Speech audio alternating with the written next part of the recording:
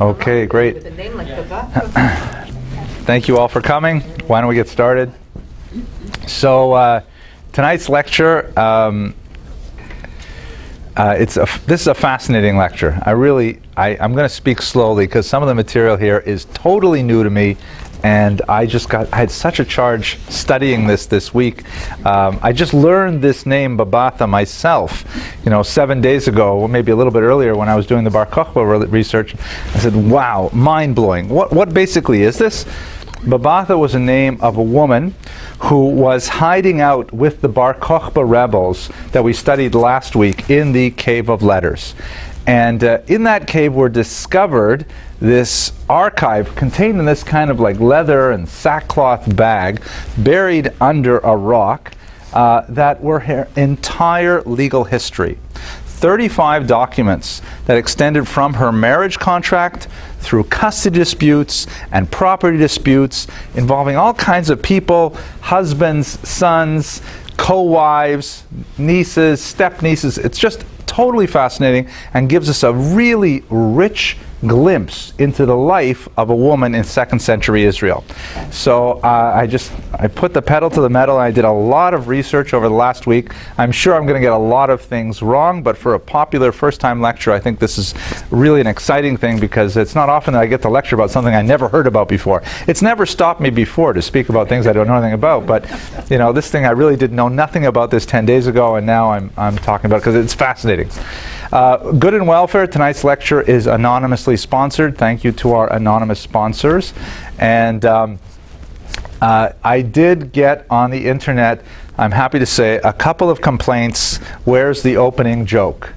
so I was really waiting for someone to say, how come you can give these lectures with no opening jokes? So uh, those of you who are watching us on the internet, if you really just want to get to the material about Babatha, I will try and put a little marker saying go to time marker X and you'll miss the joke entirely. But for the rest of us, let me start with a joke. So this joke is. Um, it involves a little bit of background information. You have to know, for example, the difference between uh, the Hasidim, who are the um, the, the outgrowth of this 18th century populist movement that uh, favored, you know, like spontaneous worship and worship through joy and through camaraderie, sometimes through alcohol, dancing, singing, things like that. Uh, much more kind of loose, spontaneous, excited form of Judaism that developed in Poland in the 18th century. Contrast them with the traditional Talmudists, known as the Misnagdim or the opponents, who favored a more stern, you know, law-based Talmudic approach to texts and Judaism and life and so on. And they had quite a rivalry that, that it was quite fierce in the last few quarters of the 19th century, uh, of the uh, 18th century really, and into the 19th century, but it's, it's calmed down quite a bit. And they debated in particular things like halacha, Jewish law. Any matter of Jewish law was something that they argued over fiercely, whereas, for example, the Misnagdim argued for earlier times of prayer. The uh, Hasidim said people should get a good night's sleep before they daven. It's more complicated than I'm giving over right now, but they debated all these things. Uh, and one more piece of information you should know that uh, one of the things that is characteristic of Judaism is the uh, respect for the name of God. Of course, it is one of the commandments not to take the name of the Lord in vain. And so, you know, we take prayer very seriously, and we, we uh, when you say a blessing, for example, and you take the name of the Lord in that blessing, you know, you really have to take it seriously with full intention and so on. You certainly don't want to waste a blessing. So, for example, if you were if you were thinking of eating an apple and you said the blessing with God's name, and then you decided not to eat the apple, that would be a terrible sin because here you missed the uh, you just wasted the blessing. So the joke goes like this. It's uh, in the Holocaust. Not too many jokes you can tell set in the Holocaust, but you'll see it makes sense.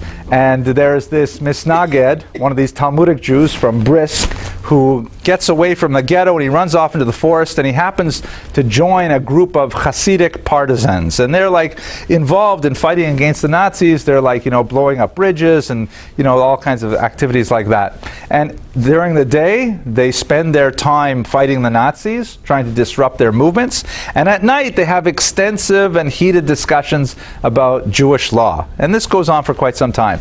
One day, as they go to attack a, a Nazi squadron, um, the, the fight gets heated and they become separated. And the Misnagid runs in one direction and chased by several Nazis, and he realizes he's at a dead end. He turns around and he's looking at the, the barrels of several Nazi guns, and he realizes this is going to be the end of his life. So, uh, because he is a brisker uh, Misnagid, and he holds very strongly to the opinion that, you know, if you know you're going to die uh, as a martyr, uh, then you should say the blessing, Baruch atah Hashem Elokeinu Makalam Asher Kedeshanu B'mitzvosav Tzivano Al Kiddush Hashem. Blessed are you, Lord our God, King of the universe, uh, who uh, sanctifies us with the commandments, including the commandment of martyrdom. So, with his full concentration, he gathers his energy and he pronounces this blessing in Hebrew out loud, and he finishes it with a great flourish. And just then, his Hasidic compatriots jump onto the Nazis, take away their weapons, and he is saved. And he looks at the Hasidim and he says, No, no. I said a bracha. right? Okay. All right. So at this point, at this point, um, I'm going to. Uh, this is the spot where if you're watching on the internet and you just want to hear about Babatha, this is where you jump in. Okay, so uh, first and foremost, I have to give thanks to a librarian at Touro College. This is Carol Shapiro. Um, I wrote to her the morning after I learned about Babatha. I said, "Oh my gosh, you have to get me all these articles on Babatha," and they were like in really bizarre journals written in Greek and Latin and all kinds of stuff like that. And she pulled together at a moment's notice a tremendous amount of data. So I'm very grateful to Carol for finding all this stuff for me and giving us the material that we can talk about tonight. Now, let us recall where we got these documents. We spoke about it last week in the lecture on Bar Kokhba. These were discovered in the so-called Cave of Letters. They are named so after Babatha's find because there are all these letters in this, this archive. Uh, it's in an extremely remote area north of the uh, southernmost part of the Dead Sea. Here's a map. You can see Here's the Cave of Letters located here. Um, the uh, sort of oasis town of Ein Gedi, which is going to be very important, is just to the northeast of it. And here you can see it within the context of Israel proper. Extremely remote area, very difficult to get there. You have to climb along a mountain path, and you have to go up a 60-foot, uh, you know, sheer cliff wall to get to the cave. And it housed quite a number of uh, rebels of the Bar Kokhba rebellion against the Romans for quite some time. Here you can see a view from the opening. You can see a climber coming up at the bottom. It's a deeply inhospitable part of Israel. The Dead Sea happens to be the uh, lowest point on the surface of the earth. Temperatures there are regularly above 100 degrees, and it is, uh, and the water, the nearest water is miles away, potable water that is, as opposed to the Dead Sea, which is heavily mineralized. And it was in this, this cave complex, which extended for 300 meters, three distinct chambers deep into the, the cliff wall, that these several hundred Bar Kokhba rebels, including men, women, and children, uh, lived for some time before they were eventually killed. Uh, it appears, uh, maybe I shouldn't say they were killed because it's not certain exactly how they died, but there were um, ossuaries there, or like uh, we'll talk about it towards the end of the lecture, but we, there were bodies found there, skeletons found there, and Babatha was plausibly buried there as well. Most likely uh, from starvation, perhaps from disease, uh, but she met her end in the cave. It's also important to note, of course, that these are really important documents to her, and she left them behind. So it's hard to imagine she would have left them behind for any other reason except for her own demise. So this was her likely her last resting place. Um, I had some interesting correspondence with the uh, author of this book, Richard Freund, over the last week, putting together this lecture. Um, he was one of the stars in an extremely useful uh, documentary made by Nova. I'll put uh, on the internet. I'll put the little uh, URL, you can watch this one hour video where you can see the cave itself and meet the people who are excavating. It's really quite fascinating and wonderful. And I wrote him to uh, congratulate him on, on such a wonderful achievement, and he was very friendly and we had a nice exchange. Uh, here's a picture of Richard Freund. Uh, I, one of the things I like about this picture is that you can see that I, I, think he has a bit of an affectation for Indiana Jones. You see the leather jacket, the hat, and the inset there. The let's see, this is Richard Freund. This is Indiana Jones, right? So, but you know, he really is Indiana Jones. I mean, he's going out there into the Dead Sea and like climbing these cliff walls and like digging around for finding these treasures. Really, it's, it's an amazing thing, and, and he was a great scholar. I highly recommend his book. Questions? Is he an archaeologist? Yes, he is an archaeologist. Correct. Okay, so, oh, one other cool thing. so, when he went when the, when the archive was first discovered by General Yadin in the 60s, they were using 1960s technology, which most of you probably remember. That was back when we were making fires with like rubbing sticks together and things like that. But you know, in the nine, in the 30 years since then, uh, a lot more devices were invented, ground penetrating radar and things like that. And Richard Freund had this brilliant idea when he was getting his, his colonoscopy, because they have these places in the floor of the uh, of the caves that are like fallen rocks that have fallen over the centuries. There are some earthquakes there, and there was no way to understand what's at the bottom. So he asked his, his colonoscopist, is that the right word? Colonoscopist? Uh, his GI doctor, uh, hey, could you use that thing to get into uh, crevices. He says, listen, we can get in any kind of crevices with this thing. And sure enough, so he brought a GI doctor along with him on this trip in the 1990s with one of these colonoscopy devices to look in the rubble, and they found tremendous things, you know. So, it, yeah, right. It just goes to show you the, the you know I don't know what it goes to show you. Anyways, they found all kinds of amazing things there. I mean, it, it's a huge and amazing trove of, of artifacts, including slippers. They found children's shoes, like this is the bottom of a sandal here. So there are people living there, cooking fires, all kinds of things were going on inside this cave for who knows how many months, maybe years, they had a whole civilization there. One of the more fascinating finds uh, was this amazing collection of uh, brass and other implements uh, that pose a tremendous amount of questions. This was discovered because they found a little bit of rope sticking out of the ground, and so they started, you know, gently brushing away the, uh, the dirt and brushing away and brushing away. And then they found it was attached to a basket. And they, they started lifting up the, the, the basket and they found the latrine. it was actually the human latrine of people living there. And that was kind of gross. But the rope went down further.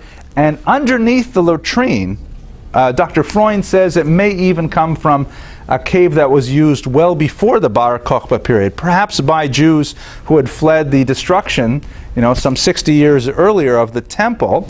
Uh, and there was this trove of these materials underneath it, including these ritual implements like these incense burners, highly ritualized objects with very flat kind of pans and things like that.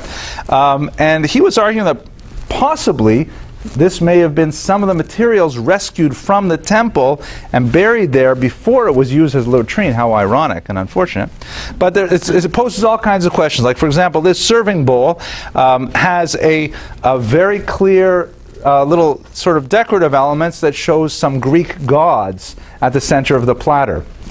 So it's hard to understand in the context of um, you know, second century Bar Kokhba rebels, who we talked about last week, as seeming to be very pro-Pharisaic Judaism. You know, they were like uh, involved in asking for lulavs on Sukkot and things like that. They would think of as traditional rabbinic Jews, and yet at the same time, they've got these kinds of implements which we would not normally associate with Jews from this period because we tend to think that they have uh, an intellectual allergy to uh, the graven image, again, based on the Ten Commandments. So there's still a lot of questions surrounding many of the finds that come from the cave. Oh, Mr. Rodriguez has a question. Uh oh. You, you don't think that it has those Greek idols on it, that it was used for idolatry, so they buried it specifically and put a latrine on top of it?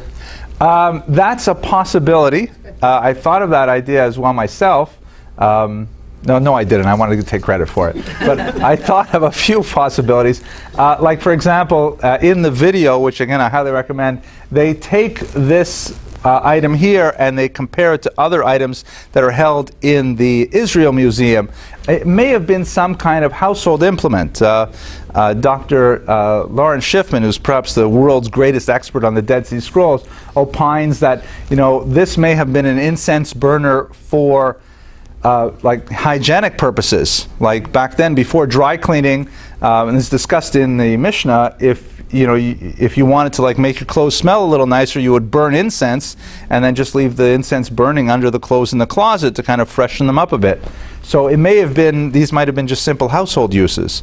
It's it's still a big question that hopefully we'll resolve over the next few decades. But fascinating materials, and we haven't even touched on Babatha. Okay, last question. Then we should go on. Um, what exactly is in the letters that are found in the Cave of Letters, the Babatha archive in particular? So we have 35 documents written in multiple languages. Uh, Greek and Aramaic are the most common. Those are the lingua franca of the time. Um, and they describe, as I mentioned, basically Babatha's personal legal history. When I looked at it, I was reminded that we have, you know, in, in our own apartment, we have this one plastic Tupperware tub that has like all the passports and the kids' birth certificates and social security. And that's like, that's our Babatha archive, right? That's what, so this is like hers. These are all the documents that they found in that relate to her. Um, it appears that she was illiterate because um, they are written for her, and the, some of the documents, and by the way, if you go on some of the websites, I'll try and put them in the, the posting, um, you can actually read direct translations of them. They're fascinating. They're written by, appears like lawyers or perhaps advocates on her behalf. Um, presenting her legal claims to whichever court or individual that she's dealing with. So it's most likely that she was illiterate and illiterate in several languages too, not just like literate in Hebrew, but unable to write in Greek. It appears that this is a fairly consistent thing, even though when we place her uh, socioeconomic class at a fairly high level, it's strange to, uh, to note that she nevertheless was unable to read or write. Uh, might have something to do, I'm just guessing now, with the uh, date that her father died.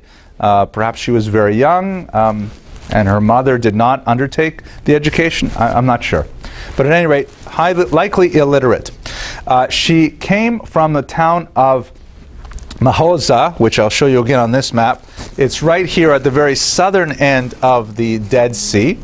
And um, this was part of uh, the Nabatean kingdom. The, this was a Semitic kingdom, uh, pre-Muslim, of course. We're a good 400 years before Islam would develop. And it was not part of the Roman Empire until the year 106.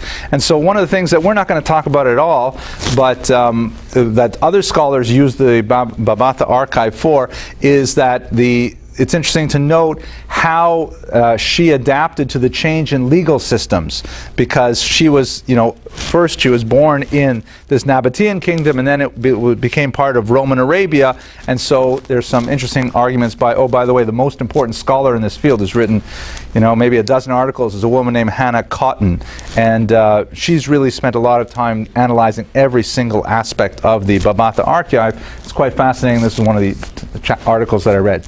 Um, at any rate, uh, the Nabatean kingdom are most famous for these amazing uh, palaces that are built or carved right out of the cliff faces near Jordan, the Jordanian border, and um, that's what they're most famous for. The, it's at the city of Petra. If you're visited there, you'll see there's quite a few them there, beautiful. Uh, what we know about Babatha is she was upper middle class. She owned property in Petra itself, and also later in her life, she owned property at En Gedi. So she was landed. She had some source of income that was based on real estate. Specifically, uh, her first holding was a date orchard that we have in a will uh, of her father Shimon. Shimon left this date orchard in En Gedi first to his wife, and then when she was deceased, the orchard was to be given over to her daughter Babatha. So this is fascinating because in traditional Jewish law, the um, uh, inheritance usually passes to a son. As long as there is a son, it doesn't matter how many da daughters there are, the, uh, the sons inherit uh, to the detriment of the daughters, as it were. The sons have responsibilities for the upkeep of their sisters, um, but in general, when you look at women in the classical world, in Jewish society, as, as well as many others, uh, women traditionally lived within the shadow of some male figure, either their father, their husband, their adult sons. You know, they very rarely went out and made it on their own. Babatha was a partial exception to that rule, as we shall see. Uh, but it's interesting to note that the, the will does not seem to employ any of the traditional kind of legal mechanisms that the traditional law would require. Like, for example, I have daughters, and I certainly want to bequeath my massive wealth to them. That's a joke, but you know, I want to. I want my daughters to share uh, wealth with their brothers. So there are various legal devices that I can do to make sure that they get the wealth, but within a halakhically acceptable way. I can give them a matana mechayim, for example, a gift while I am alive. I'm allowed to give them as much property as I want while I'm alive. And there's discussions in the in the halacha of uh, can I create a document that says, you know, one moment before I expire, I give, you know my, uh, my holdings in Cancun to my eldest daughter and my holdings in Switzerland to my second daughter and stuff like that. Can I do that? So what's interesting is that these are absent in the will written by Babatha's father. Babatha's father just gives it straight out to his wife. Now she's normally the beneficiary. Um, and then after that, he says it should go to my daughter. That's also a problem in Jewish law that you cannot will things after your death. You can't say, I want it to go to Ruvain, and then after Ruvain dies, I want it to go to Shimon. But you have no control over it. Once, once you give it to the first person upon death, then it's whatever they want to do with it. So the will that is the first dated document that we have in the Babatha archive does not seem to conform to Jewish law in its particulars. That itself has a lot of ramifications that we'll return to towards the end of this lecture. Then, uh, so Babatha, though, whether she had sons or not, whether she had brothers or not, uh, she was likely the eldest child, maybe even an only child. There's no real reference, if I re recall, to any siblings of Babatha at this point. Now, she grows up and she marries a guy named Jesus. I kid you not. The name they use constantly in the literature is Jesus. It was really easy to find pictures on the internet of Jesus. This is what he actually looked like. But his, his name was Yeshua, and for whatever reason, the archaeologists like to use the term Jesus, even though it's kind of like begging the question when you first see it. Anyway, she married him uh, in roughly the year 124, which, uh, oh no, she married him a little earlier. By 124, she was a, a widow. I believe, what was her birthday? Do you remember, Mr. Rodriguez? I think it was around 104, right? 104. So she was already at 20, she was a widow with a son uh, whose name was also Jesus, by the way. Here they are, right? This is also easy to find pictures of mother and child if you put Jesus in anything. Uh, one more note I wanted to mention. Uh, oh, so what happens is she, uh, she married uh, Jesus and then she inherited some property in Mahoza. Sorry, that's where her father left her the property. Uh, and then within a year, she married again. Now, so she's married to a second guy whose name was not Jesus. But we have Jesus, her son, and this is another interesting aspect of the, uh, the, the, archive, is that right away she gets into a custody dispute over her son Jesus. Specifically, there were two men uh, who were appointed as apotropos, that's a singular, uh, apotroposim, I guess would be the plural. This is a Greek word uh, which has entered the Hebrew lexicon as well. It's in the Talmud all over the place. An apotropos is like a guardian, uh, someone who has custody. It appears that the boy Jesus, the baby Jesus, was allowed to live with, I'm glad you enjoy that. I enjoy that. The baby Jesus was allowed to live with Babatha, but they controlled the child support.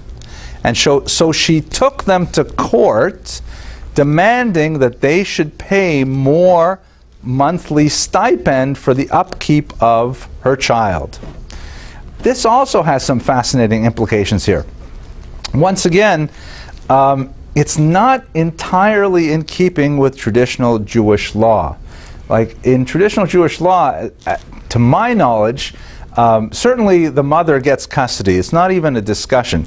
If both parents are alive, then there's a possibility that a husband could get custody if there was a divorce or things like that, but it's unlikely. Definitely the preferential custodian is the mother. But the idea that the wealth would then be distributed through other people seems really strange. Like, why should you separate the money that she legally inherits from her husband and send it up through a trust managed by two other people? So this is again not necessarily in conformity with Jewish law, but we see that, as one of the articles put it, uh, even though she was illiterate, she was certainly no wallflower.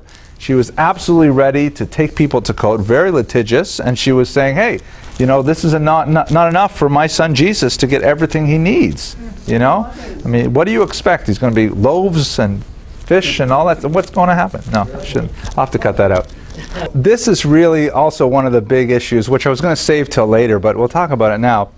Um, where is she suing her plaintiffs? Is that the right? No, defendants. Where, where is she, where is she taking them to court?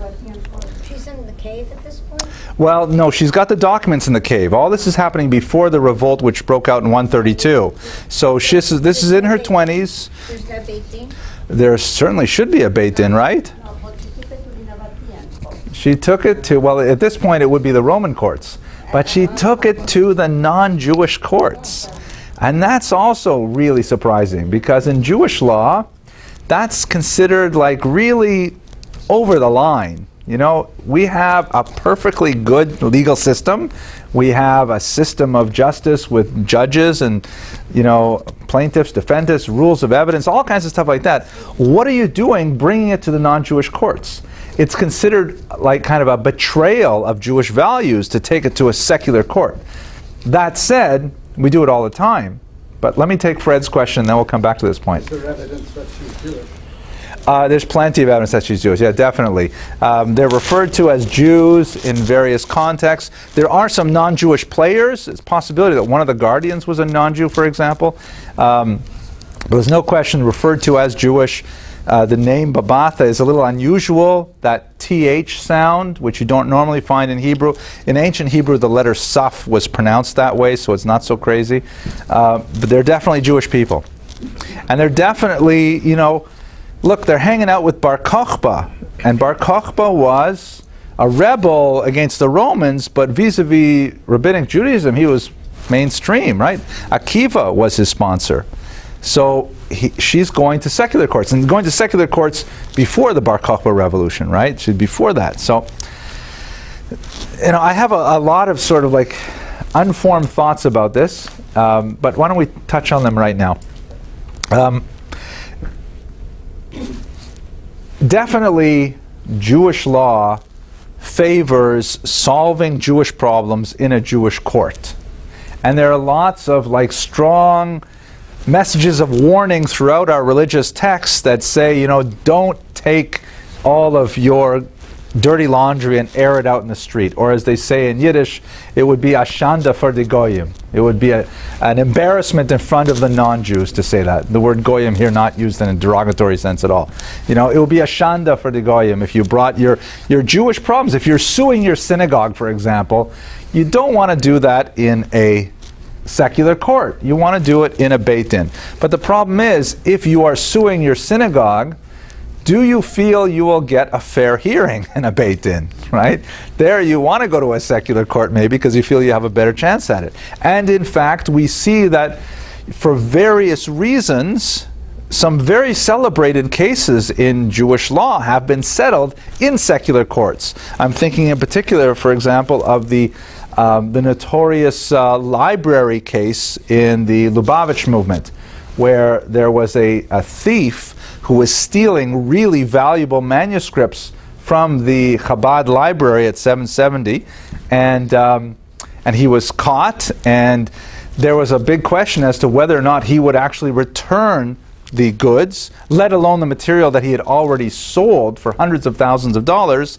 And so, uh, in what appeared to be a controversial decision, the Rebbe felt it would be more effective, he would have a better chance of enforcing the decision if he took it to a secular court. And that's what happened. Went to the secular courts, they decided in the favor of the Lubavitch movement and the Rebbe, and they had to, you know, all those books had to be brought back to 770. So that's a, a modern example of going to a secular courts, and Babatha also did so as well.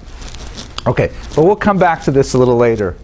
Uh, the story goes on though. So Babatha, you'll recall, she married Jesus, had a baby Jesus, and then Jesus died, and so she married another husband within a year. His name was Judanes, and he had a wife at the same time who was living in En Gedi.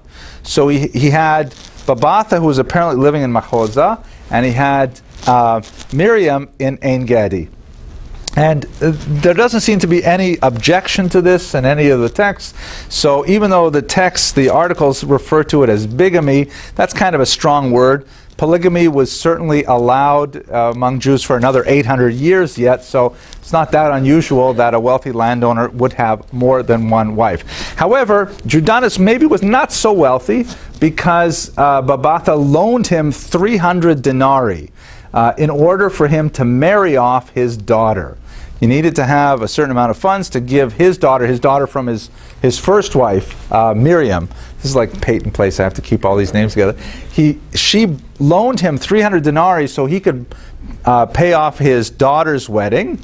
And then he died before he could repay the debt. So Babatha, you know, reticent and retiring woman that she is, she seized her husband's uh, date orchards, three of them, as security against the debt that her co wife or co widow, Miriam, owed her.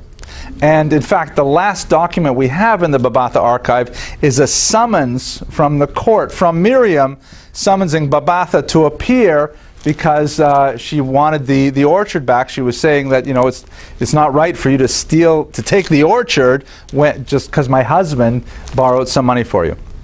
That document is dated 132, which is right at the beginning of the Bar Kokhba revolt. So it's at this point that we assume Babatha went into the cave shortly after receiving this summons.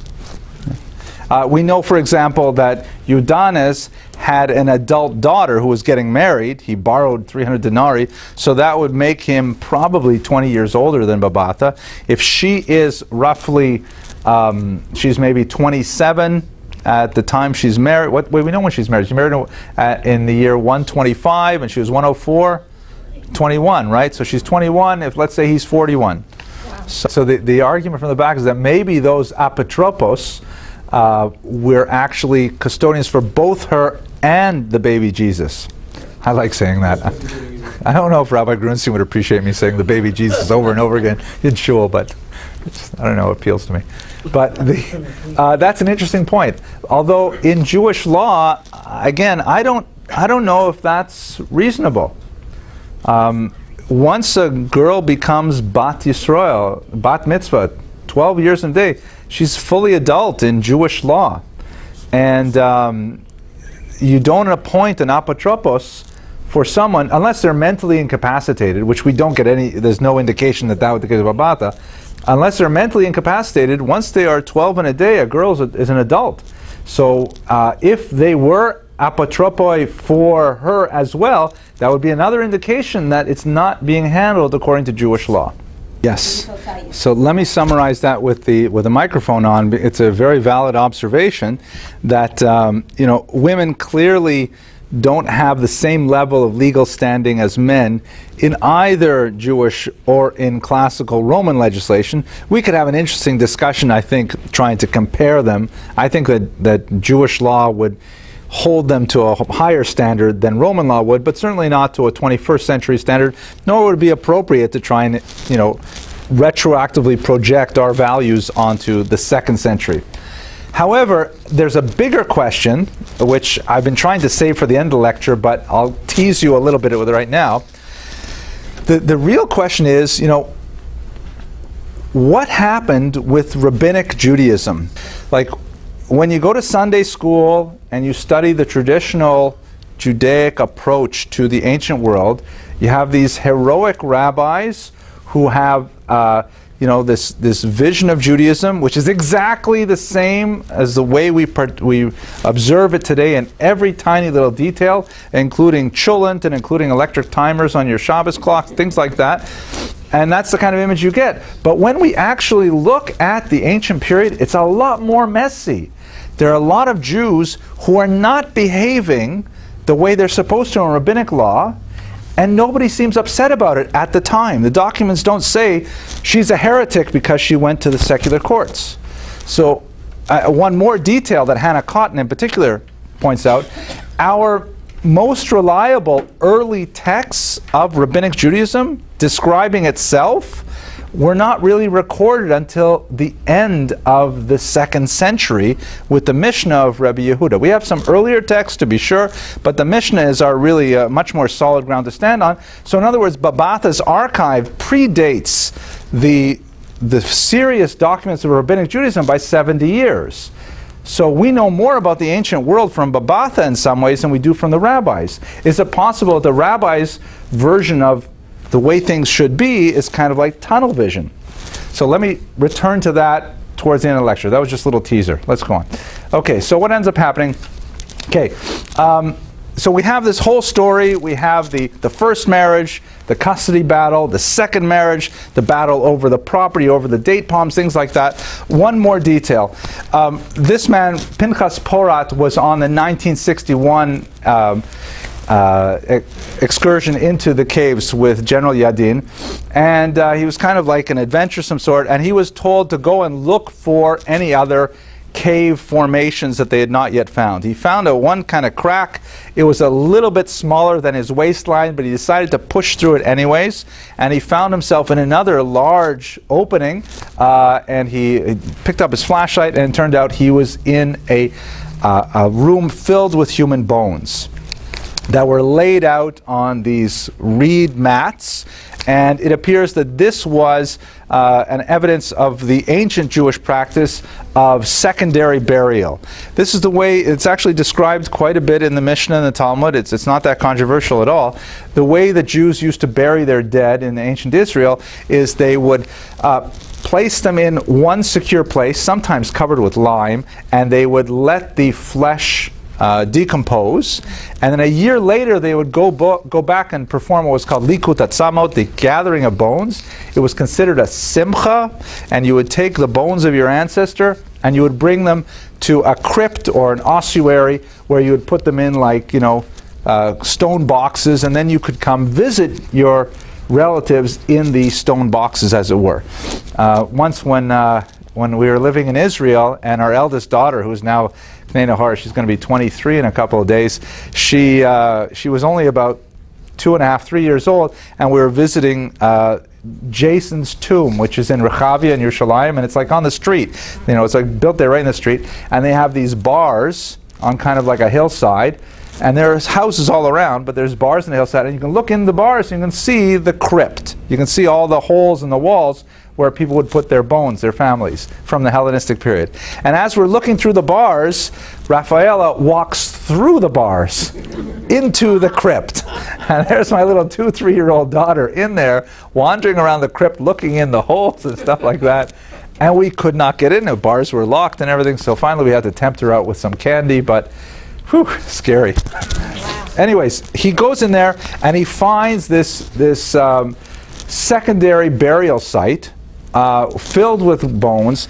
Most likely, these are the remnants of the Bar Kokhba rebels who could not be taken out of the cave for burial, uh, and so they were situated there. Gives you a sense of how long they might have been there. And then the plan was that they would later be taken to their final resting place. There were several female skeletons in the, this uh, what was called the niche of, of skulls that um, that could have been Babatha herself. Uh, they um, there are a couple of possibilities that come from this as uh, why was Babatha there in the first place. According to uh, General Yadin, again the first person to discover this cave, he felt that Babatha must have been a political sympathizer with Bar Kokhba, that she identified with their cause and so she hid out with the rebels and things like that. Uh, and you know, we have to place this in the 1960s. It's before the Six Day War, and there's a lot of nationalist excitement and a lot of like Zionist energy and things like that. And of course, it makes sense that sure she would want to go make the last stand with the Bar Kokhba rebels. The only problem is that nothing in the archive gives us any sense that this is kind of Babatha's worldview. Uh, we have no, we have you know traditional Jewish marriage contract and things like that. There are some variations there, but basically it's Jewish and so on. You know, why would we think that she's going to be politically motivated like that? Richard Freund, on the other hand, says probably a more pragmatic reason, which I find personally a little more convincing. Um, one of the other documents found in the archive was the ketubah, or marriage contract, of her second husband's daughter, which was, which was included with Babatha's article. Now we know that Babatha had a hard time with her second husband's wife, Miriam, but she apparently had some relationship with her second husband's wife's daughter, Shlom Tzion. Now, what Freund argues is that perhaps uh, Babatha was in the Ein Gedi region, which was a real hotbed of the Bar Kokhba uh, military activity. She was there perhaps in the context of that last summons that we even read. And um, when the war broke out, she sought refuge in this cave with Shlom Tzion, because according to Jewish law, a woman is not allowed to be away from her ketubah for more than 30 days. Like if you go, the ketubah is the marriage contract. That is a woman's legal surety uh, in marriage. That if the marriage is dissolved for any reason, that's her document to prove what her rights are after wedding. So that's why most families today, you know, they'll actually put the ketubah on the wall, and you know, they make them decorative and things like that. But it's a legal device that has real standing.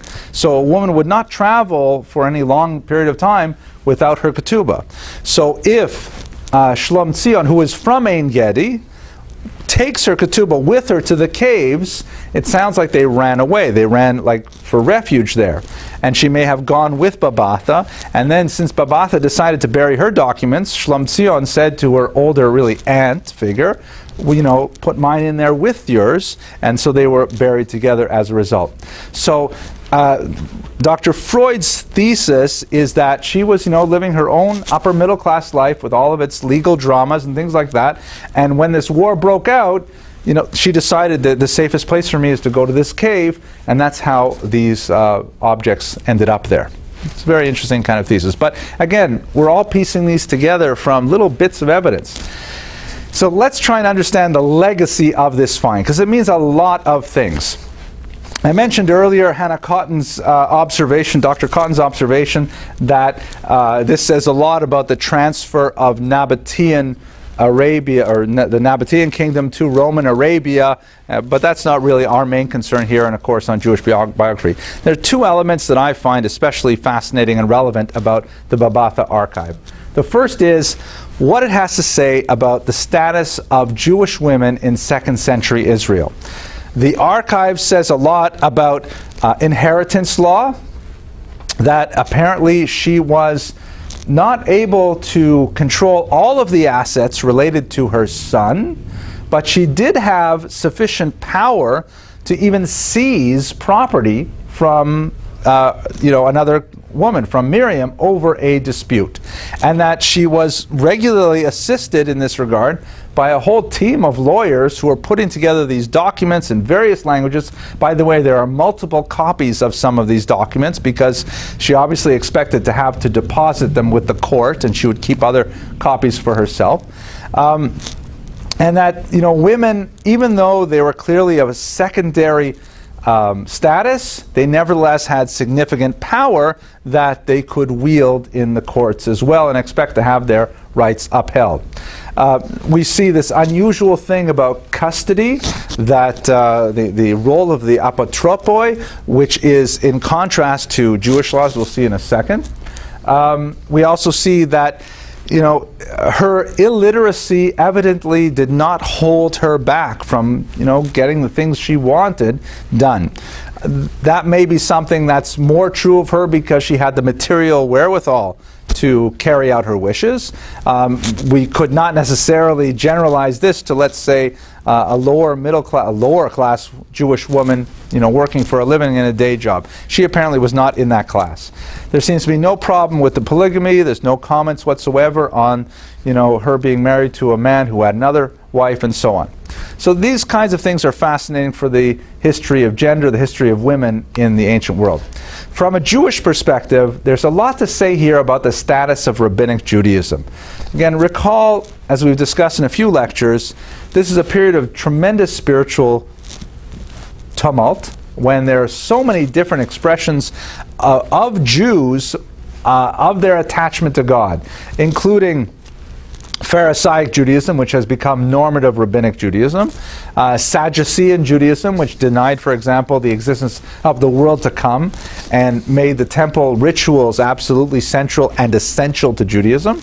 Um, the uh, Jewish Christians who still, well, by this time, by the time we get to Babatha's period, it's becoming more of a Gentile movement, meaning a lot more people who are not born Jews are joining the Christian movement. But certainly in the first few decades, it's overwhelmingly Jewish. Everyone is Jewish. Look how many Jesuses we have just in you know Babatha's lifetime, um, and they're all sort of like intellectually competing for the minds of Jews. So one way of understanding this is that rabbinic Judaism was kind of like one uh, primus inter pares, first among equals, and it happened to win.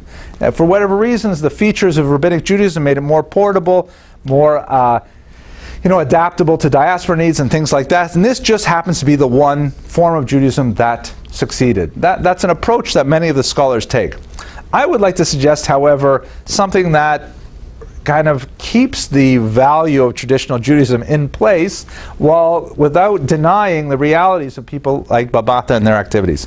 Like, for example, you can still say that, to use a modern term, Orthodox Judaism is the quote unquote authentic Judaism. But if you went to everybody's kitchen, even in an Orthodox synagogue in America, how many of them would you find are not keeping kosher? They're still belonging to the Orthodox synagogue. They're still affiliating Orthodox. They're still considering themselves Orthodox, but they are antinomian at home. So does that necessarily invalidate the central ideological track? Not so, not at all. All it says is that Jews are not so from. Jews are not necessarily so inclined to be compliant with the rabbinic authorities, which is certainly nothing new in Jewish history. Jews not listening to rabbis, you just got to read the Bible for lots of evidence of that kind of thing. So I would like to, to tender that um, these documents indicate once again, an illustration of my father, Harani Kaparis Mishkavo, always used to say, plus ça change, plus c'est la même chose. The more it changes, the more it stays the same.